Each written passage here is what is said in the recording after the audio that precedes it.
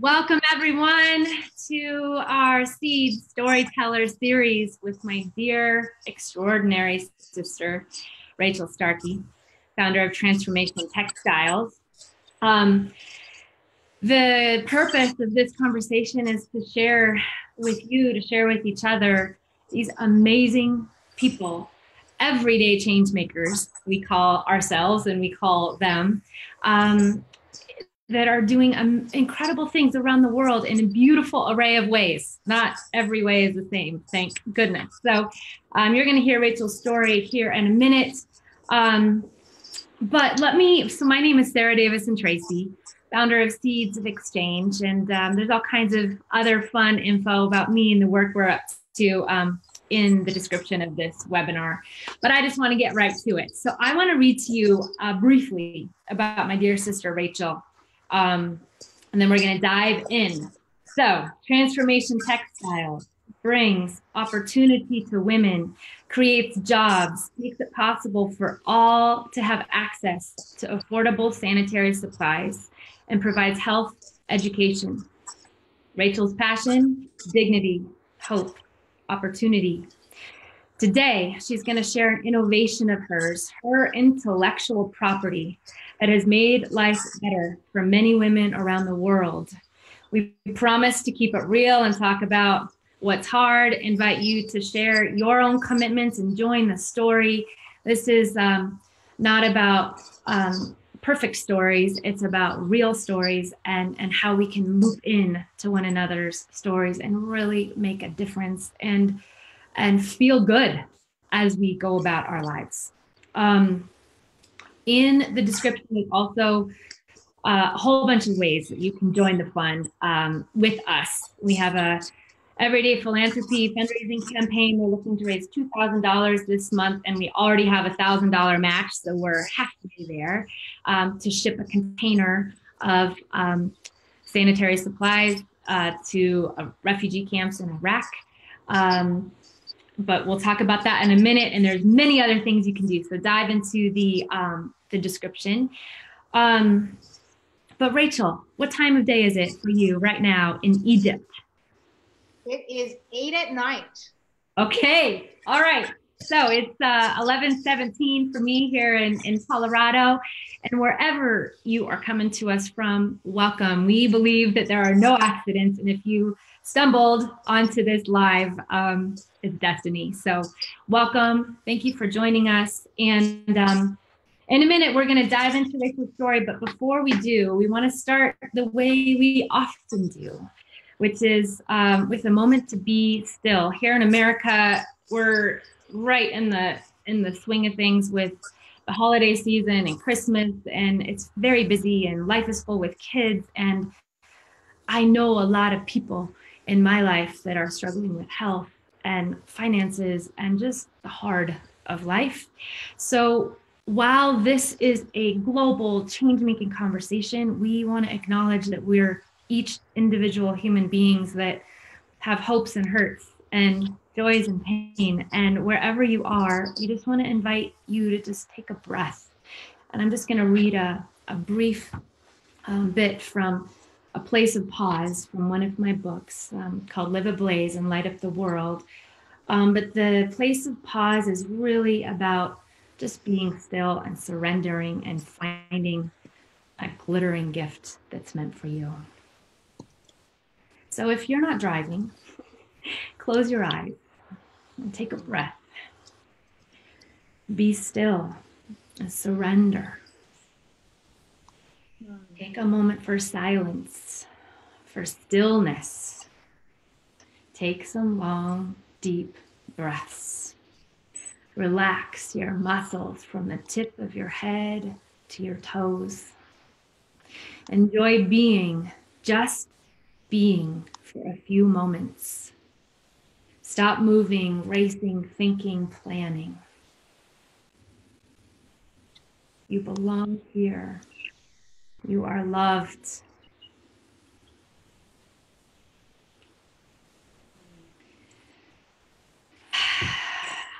So, as we go, please share um, with anyone and everyone you think would be inspired. The more we go, you might know more who that might be. Um, please comment like what what's capturing our attention. What questions do you have? We're not going to be responding to the comments live, but I will go right after the live and go through every single one. So we really mean Rachel and I mean for this to be a conversation that does not stop at the end of this live, but that we keep on going. So, my dear sister Rachel, thank you for joining us from Egypt. Thank you Thank for you. Um, spending your Friday night here with us, or part of it. Um, and would you tell us, for those that missed um, the last live that we did, a bit about you and Transformation Textiles? Sure.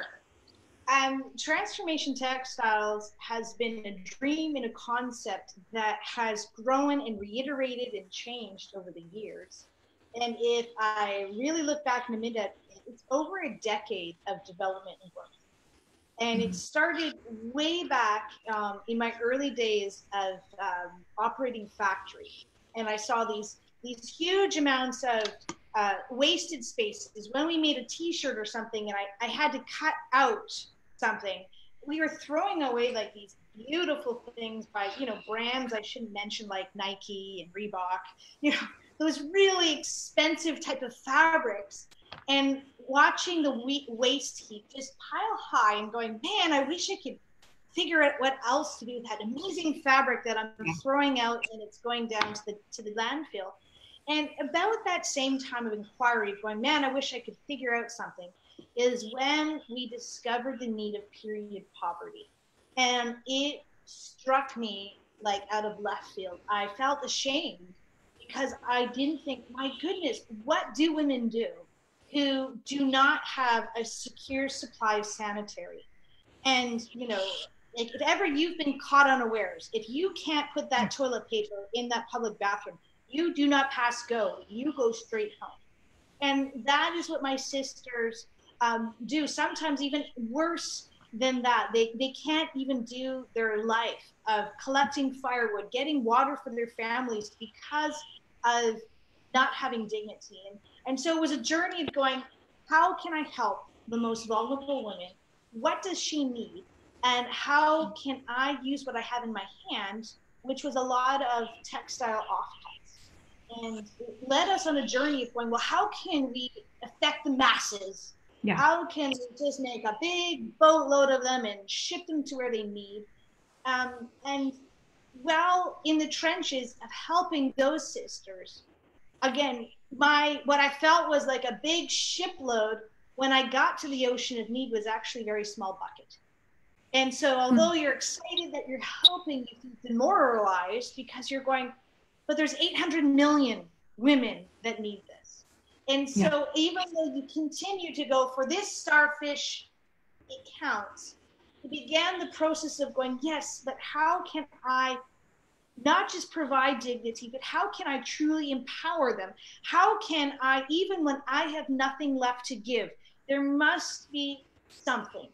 And that hmm. something is education. That something is going, I don't have any more fish, but here is a rusty fishing rod. Let me show you hmm. how it works. And you would be amazed at what people can do. And so, from my factory of knowledge and all of my resources, this was the fishing rod. It wasn't even a sewing machine, it was a needle and a thread. Um, saying, I walked your streets today in the refugee camp and I saw the most amazing t shirt for sale for pennies. That's within their grasp. So when my bucket is empty, they can actually go. And so it developed me beyond what I can make beautifully and professionally in a commercial factory. How can I help my sisters right in the trench going, actually, there is fish in this camp. And it's not in my distribution center, but let me teach you how to fish. So Wow. that is the journey from trying to use my own humongous amount of resources to Uh-huh. feeling so inadequate of going, I don't have enough Yep. to go, actually, there is enough. We just need to hold out a hand, not always offer a handout. Mm.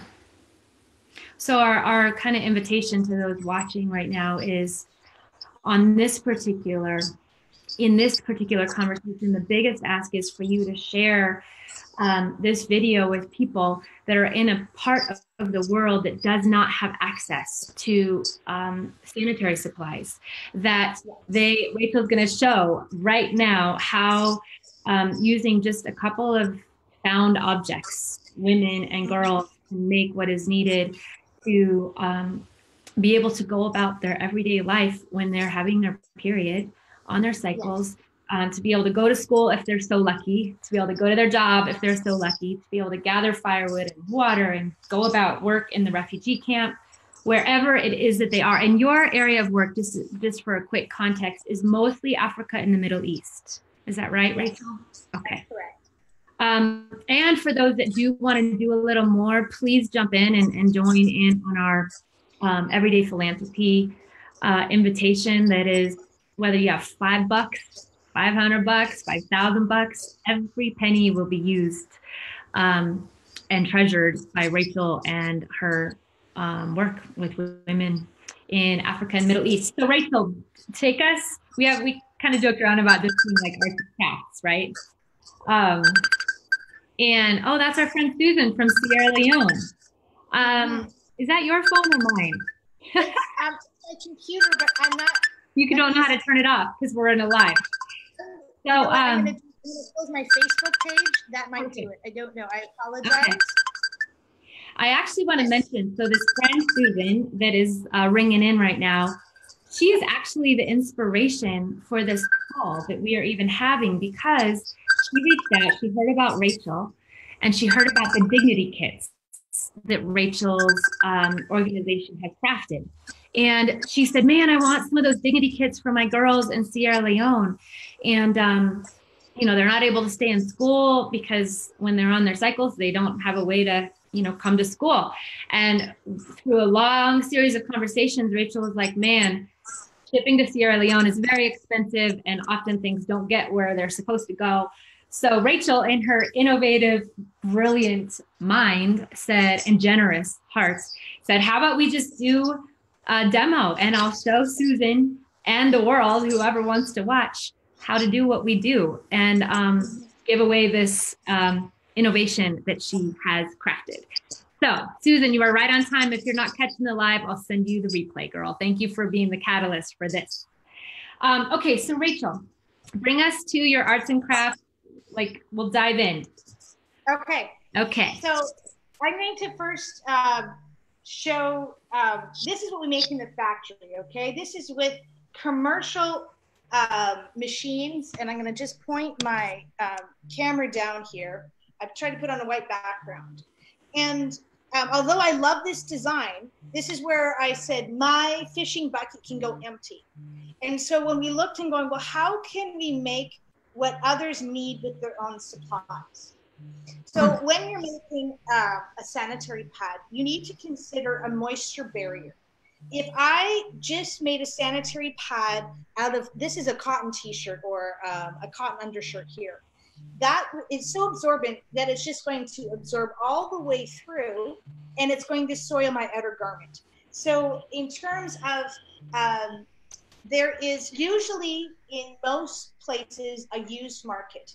And although they might not need it, there seems to always be a supply of fleece of some sort, a polyester type of fleece. So I literally just um, got my my scrap here of a of a polyester fleece. This is not absorbent, um, but this is um, it, it, will hold uh, the it, it, will hold the moisture uh, very very well and uh, sorry, she's calling. Okay, I'm gonna I'm gonna answer. I'm gonna mute myself and answer Susan's call. I think she's desperate to find her. Okay. um, so in terms of finding um, a polyester that it's gonna it's gonna hold that moisture on one side. Um, it, it's not going to be completely waterproof, but um, menstrual flow is a lot more thick than water. And so by having a layer of of a fleece or having even two layers of it, it's going to form the same type of moisture barrier that we have in our factory. Now, in terms of um, this is done with a very fancy wing, and it's really, really nice. And it's done with um, with with poppers or, or snaps, which sometimes are available in those third world countries or developing countries. Um, so if they are, great. There's also those little sew-on ones that can be done. And so how a reusable, it just wraps around the middle of the underwear and it can affix to any any shape of underwear. And in terms of patterns, you could essentially get one um, from an Always pad. I find that the most common size um, that in most East African countries that I have visited, there is Always or their competitor. And these are basically the two sizes that always goes. They have an extra long and then they have just uh, a medium or a medium flow. This typically can be um, about 11 inches and this can be 12 or 13. But when you think of yourself, if you wear pads, what is the length of even a regular disposable? Chances are, for most of your cycle, it's this size. And so um, you don't, depending on the woman, so if you're making it, you can basically tell her, you know your needs. These are, if you're making a pattern template, getting those two are going to give you your general sizes that you need. Now, the wings are actually not even necessary. Um, it is an extra step in it. It requires more fabric and requires more time. And so what we have shown some women is the only thing that you actually need are security bands. So we have, you can use the, the hem of a t-shirt. There, you could use any type of ribbon that could be that you want it to be soft and you want it again to not be cotton because cotton will absorb and it could take it all the way to the side and you could leak around. So this was taken from a hem of like a of an old sports t-shirt. There's a lot of soccer jerseys that are there. Those are usually made out of polyester, a great thing for for making something like that. And so with these security bands that you can easily sew with just a needle and a thread, you need to just sew them kind of um, well, if this is a pair of ladies' underwear, there's about six inches, um, right where the underwear fold. So in terms of wherever that wherever that lie is, where would you normally put a pad?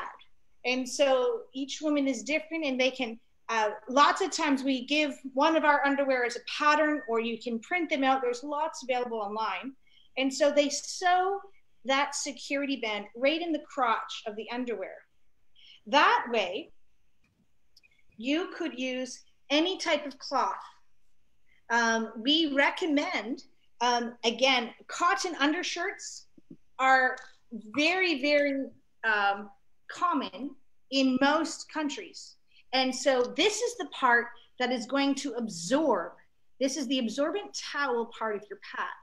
And so by, I just pre-cut some squares here um, so that you can see.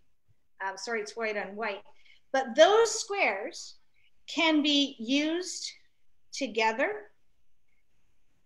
I prefer a 10 inch by a 10 inch square. These ones were cut a bit smaller.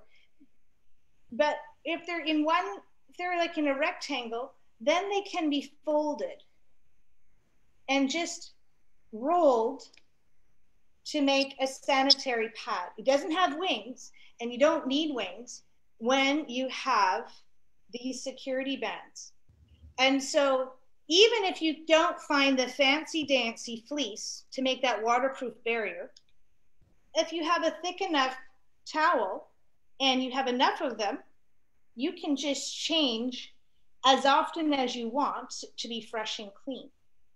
And so without any further ado, with only a needle and thread and a pair of scissors, you can cut up a t-shirt You can cut up the hem of a, of a soccer shirt and you can make any pair of underwear into period underwear that could hold those pads.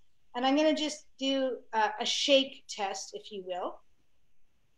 That if they're done properly, it's not going to shift. And so, even without wings, with a lot of activity, that thing isn't going to move. If I didn't have those security wings or bands, even that same thing, it can flop and it could fall out. And so, this simple uh, idea of these security bands are what can keep any type of absorbent cloth where it needs to be. Um, and I'm, I'm hoping that, yeah, we'll be able to use these Seeds of Exchange tutorial for many people to just watch. Um, one other tip you'll see in this particular pair of underwear, the way the crotch is on this, this security band was quite wide. And if um, what you actually need is just the width of where that pad is. So this one is nice and narrow on this side. This one, uh, I'm sorry about the camera, but we had, there was just a few extra um, stitches here so that there's really only a three inch um, thing right in the center so that uh, this thing wouldn't slosh around in the back. And so by having the right security bands in the right place, any type of handkerchief, cut up t-shirt or, or towel um, can be used. And the beautiful thing about this design actually, that actually has advantage even over my most beautiful um, one we make at the factory is it doesn't look like a pad. Yeah. So if that was hanging on a clothesline, it doesn't look like anything. Hmm. It is just there. And in terms of water scarcity, by being making it able to be one layer and then folded, you can achieve any thickness of protection you need for, for what you need for that day versus going, oh, well, if we're going to make reusable pads, let's make them as thick as those puppies can go because we want them to hold a whole lot. That's not the concept. The concept, even amongst the most pampered princess in whatever place that is, you want to be fresh and clean.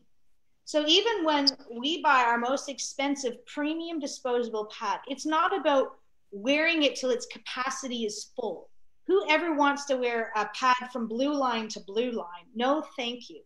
We like as often as we want, as our comfort and as our finances allow.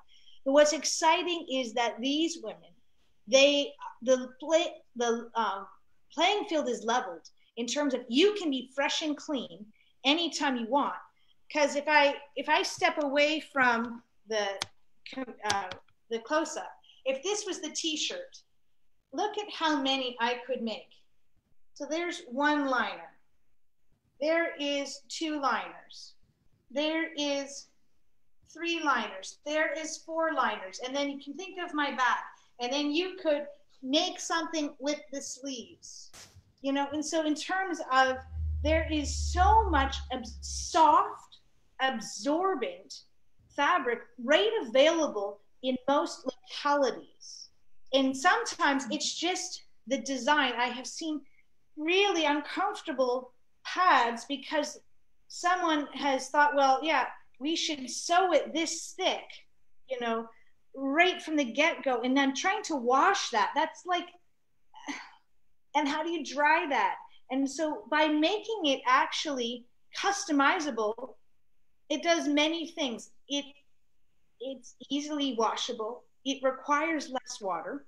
It requires less effort to dry. In some places, it's rainy season or there's no direct sunlight. There is nowhere that you can um, hang that um, without it being a problem. And so by having something that doesn't look like a pad is actually to an advantage. Like mm-hmm. one one is kind of obvious as to what it is.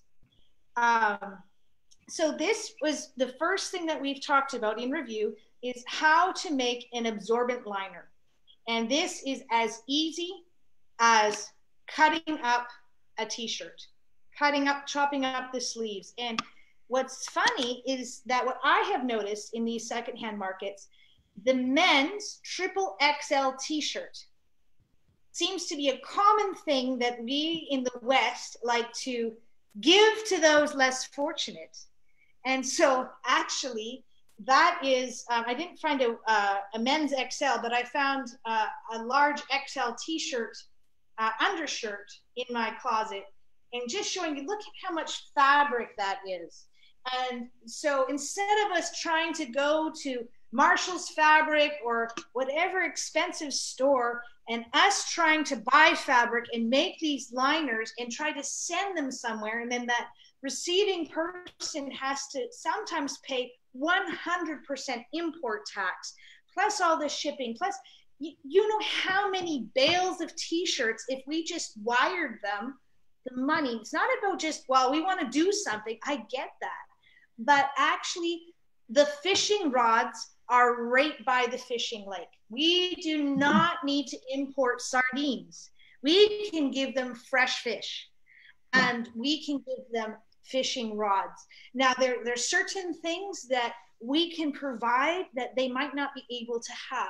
And some of the countries we're working at, they love to get a few of these to have the really nice shield all done for them. But others are going, we can't even wait for that. We do not have the finances or whatever. And so you don't even need this. All you need is these security bands um, to, to create a period panty that can hold any absorbent fabric. I want to review again what is an absorbent fabric. When it's for the absorbent towel, you want it to be like cotton, you want it to be viscose, you do not want polyester. You don't want fleece to be the absorbent um, towel. Um, fleece, again, a polyester fleece is a great option to try to give it a level of waterproofness, but this can be hot. It can lead to bulk. And so you just need to judge that wisely. Um, the other thing that people think, oh, and I've seen a lot, is making these, you know, and a lot of the locals make menstrual cloths out of a tightly woven uh, something. It's so tight that it's actually hard to absorb. Something that's soft and loose knit, like a cotton t shirt, is the perfect type of fabric that most every place has access to um, to create that towel. Um, the the waterproof part is definitely a nice feature, um, uh, made of fleece, made of a tight woven something. Uh, some people have resorted to like plastic bags. I don't recommend that. Um, one, if you have ever put a bag to your mouth, it's not breathable. And um, I'm a very practical tester, so I have made and I've worn out of plastic. And I can tell you it's miserable. It mm. is very moist and you can feel the heat. And those two combinations, heat and moisture, are perfect combination for infection. And so, in terms of we want things to be breathable, so a fleece, I can breathe through it but it's going to hold the thickness of the menstrual soil um, very effectively. Or forego it altogether and just have to change the cotton more often. But when you have the cotton, make sure that it's soft and that it's um, uh, very stretchable or or um, not like a, a rough towel. I've seen lots of people make these, and when you line dry like a cotton loop towel, oh, it's scratchy. It's it's a natural loofah, and that can be irritating. Uh, so when you're thinking of design, you really need to just jump into those shoes and going, where am I going to wash it? How much water is it going to take? What will that fabric feel like when it's dried air dried? Is it going to be rough and scratchy? Or is it going to be soft and supple? And so these are some of the things. It can be any color. Um, and that is actually the fun thing to see these ladies come out with these beautiful designs. I saw, uh, I wish I had a picture ready in Malawi, these teenagers, they took these high school, um, I don't know who it was, it could have been Texas or whatever. They had like the logo right on the butt of the underwear they made. Like, I mean, you can actually be creative. It was, it was fun.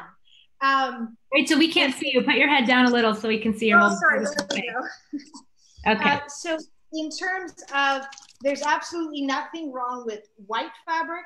Um, it actually comes out quite clean. There is nothing wrong with other colors. It does not have to be white. Um, and so this is where women, once they get into it, um, they can be quite creative. And uh, it's fascinating to see what colors they try to coordinate together. And I have seen that over and over again from women I've worked with in prisons to women right in the refugee camp. And their course of their definition of what goes together is much different than mine. And yet it mattered. Yeah. And we're talking about a sanitary pad, and we began to laugh because all of a sudden, all the rules were gone. We're going, wow, we can actually color coordinate. And it, it made them giggle and it gave them dignity of going, I have choice, I have dignity. Yeah. Can you tell us, Rachel? Like, I know we need to wrap up here in a minute, but could you tell us one, one or two stories of, of what you have observed over the years of, um, kind of a story of impact as women have been able to craft these from found, you know, fabric in the camps or in their villages, and and just what what do you notice changes in the lives of women when they have access to these this tool? Um, you know, I, I want to talk about this one uh, mother, and she had three daughters. And um, when I showed her this concept, and uh, she was actually a product tester for some of these, going, Well, can you try this? And can you try that? And um, it was just like this glow of that I can be fresh and clean. And I can afford to allow my three daughters to be fresh and clean anytime yeah. they want. And that creates more capacity for us to buy some more root vegetables. You know, so it was it was beyond just her own because women we don't self-care we give to everyone else first so i know that she suffered the most and she made sure her daughters had it but when you have three daughters plus yourself and yeah. you're trying to ration out your sweet potato and yeah now to see that smile of going, not only do I have enough, but I feel comfortable during mm. my period. You know, wow. and and again, um, the washability. I mean, they haul their water. They, you know, do those things, and so seeing the impact of not only am I more comfortable, not only more I am more confident, but I have more sweet potatoes now that I can feed my family. So mm. it it provided on multiple of levels, and um, that was really um, it made it, all these different trials well worthwhile. Okay, that's amazing. By the way, amazing, amazing. Um, one thing came to mind when you were telling that story. How often, or has it happened, where you go in and you share um, this simple but very brilliant innovation of yours like how often are women already doing that are, are they using fabric or have they found a way to craft this yeah. so one of the things that i have found um, they have they have been doing that and it's just been more bulky and so they love oh. the design. But one of the things that i have um, noticed is they would take like this huge bolt of fabric mm and they would in a way take a cord and wrap it around their waist. And they'd have this gigantic loincloth yeah. Kind of between them so it was very very bulky yeah but with all that bulk it only equals one change right and so then when they had to wash it they actually had all of this fabric yeah. to wash. And yet it equaled this. And so Yeah. when they saw the simple design, the lights went off because they're like, I actually can take all of this that I already have and I could make four or five Right. of, of these simple designs. And Right. it's not hot, it's not bulky, and it works. And so, yeah, many, many of them have a, a type of, uh, if you will, holder, which Yeah. then they try to place something. And Yeah. a lot of times it's, yeah, it's like a cord. Yeah. Um, the, the other pictures that I have seen them do is in a similar thing, but now imagine dry grass, hard woven like a braid. Right. Now put that between your legs. Right. So them just seeing like, oh my goodness, I have this right here. Yeah. Um, so Yeah. it's it, they have used cloth. Using cloth is not a big thing. Just some of their designs weren't as, uh, if you will, human centered or um, Right. usable. Right. Wow. Thank you. Do you have any other pieces you want to share in the tutorial? Um, did you get everything? Yeah, I, I think in terms of I like kind of as a lasting thing, I have met so many incredible seamstresses and crafters in Canada and North America who, when they see the simple design, they want to just run down the road and make 75 of these little puppies tomorrow. Yeah. Right. Or they showing me like, oh, let me show you my closet full of fabric. Can I send it to you?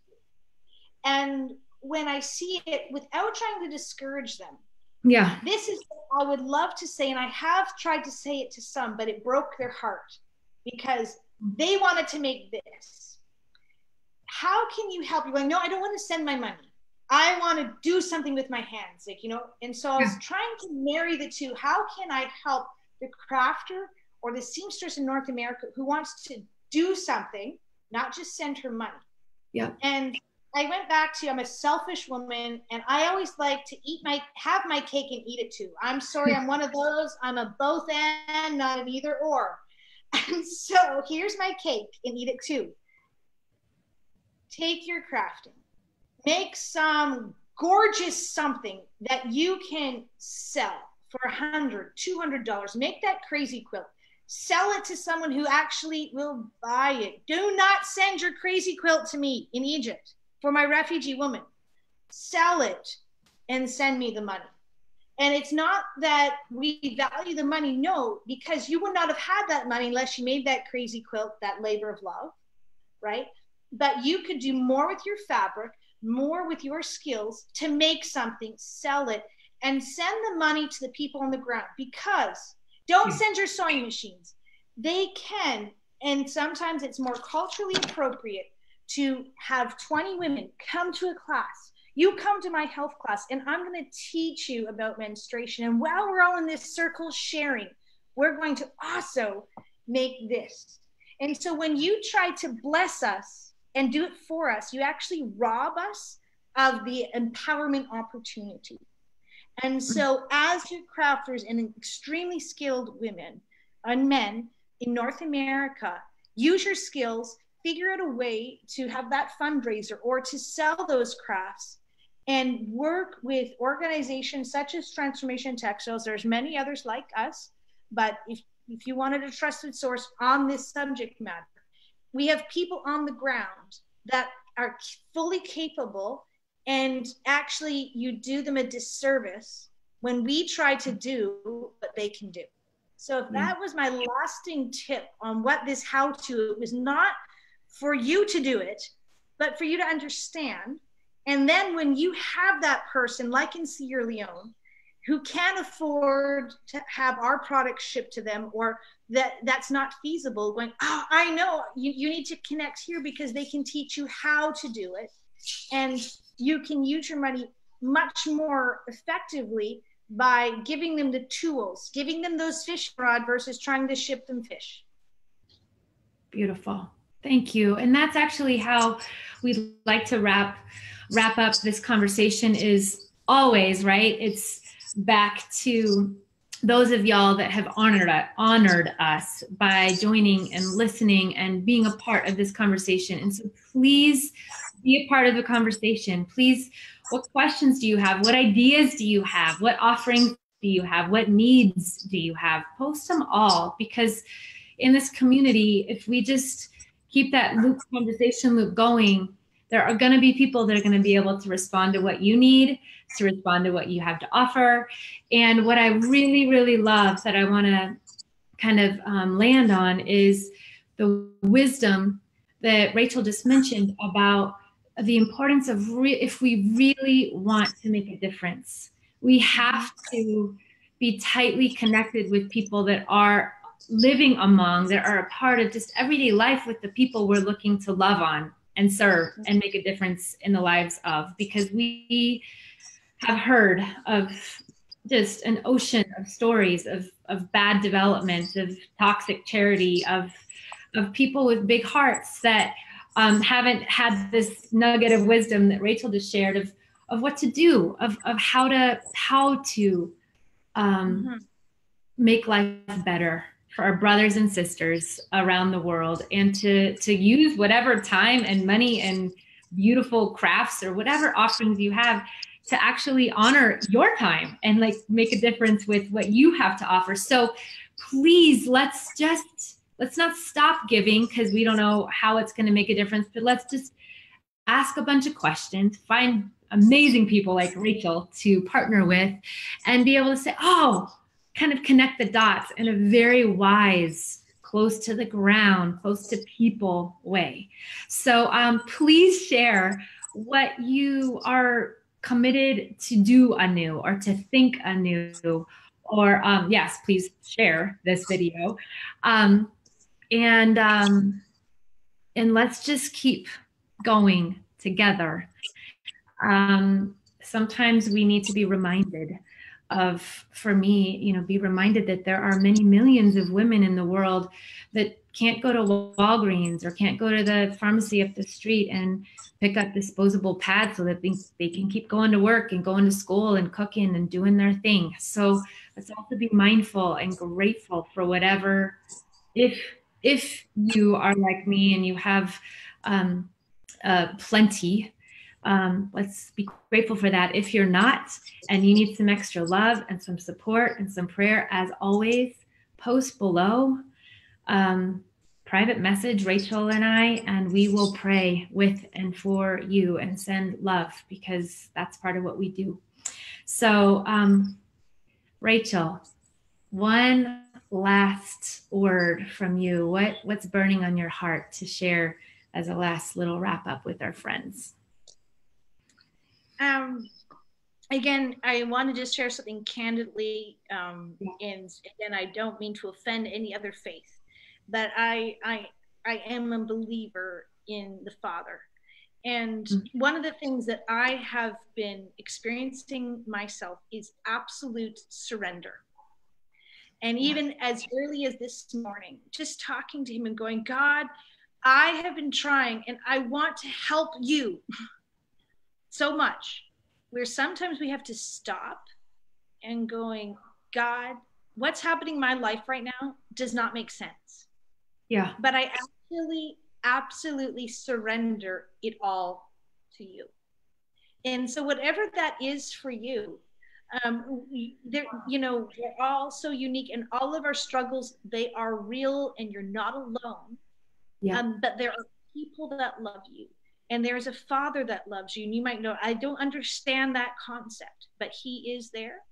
And um, just um, by allowing him to have every part of you you'll be amazed at what he can do.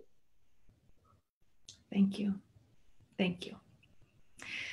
All right friends we're going to wrap it up with a blessing a reminder that you matter you are loved.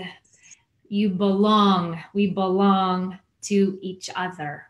And when these things weave together into a tapestry, um, we make a difference. And it's not hard and laborious because we're doing it together. So um, I love you guys. please, please share. Please comment below and um, let us know what's impacting you. Blessings on your day. Bye, y'all. Bye.